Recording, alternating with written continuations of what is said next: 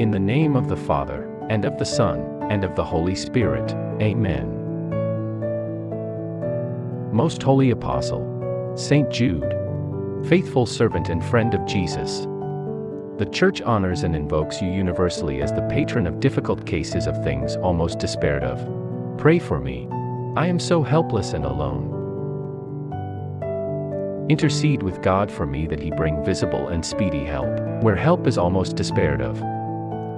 Come to my assistance in this great need, that I may receive the consolation and help of heaven. In all my necessities, tribulations, and sufferings, particularly.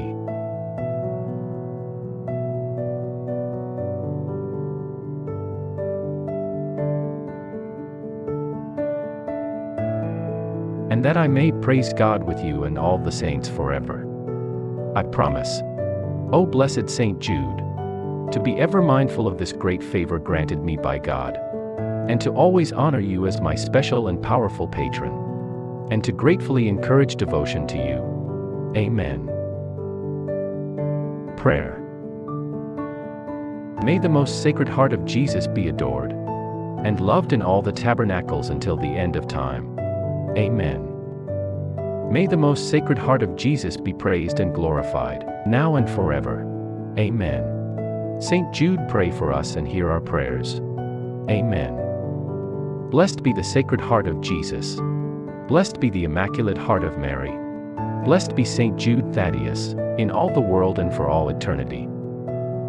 Our Father, who art in heaven, hallowed be thy name. Thy kingdom come, thy will be done, on earth, as it is in heaven. Give us this day our daily bread and forgive us our trespasses, as we forgive those who trespass against us. And lead us not into temptation, but deliver us from evil.